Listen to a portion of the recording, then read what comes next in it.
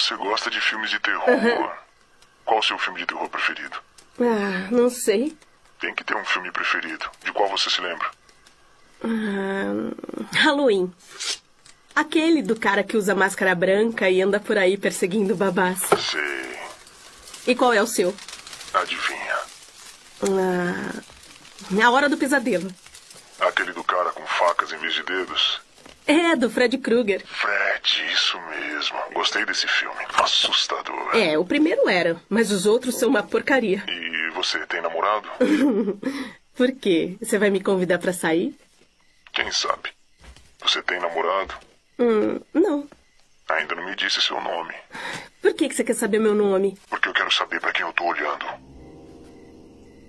O que, que você falou? Eu quero saber com quem eu tô falando. Não foi isso que você falou. E o que você acha que eu disse?